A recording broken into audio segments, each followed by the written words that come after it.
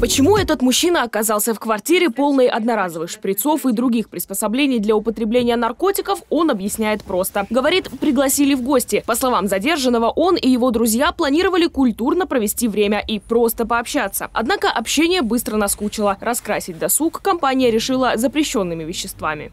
И как часто вы здесь наркотики употребляете? Не, не так часто, но периодически, я не знаю.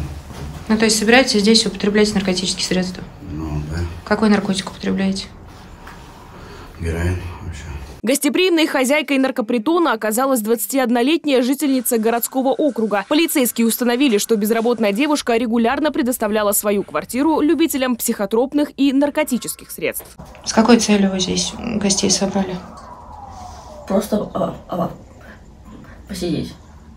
Ничего не употребляли запрещенного? Я употребляла Что употребляли? соль.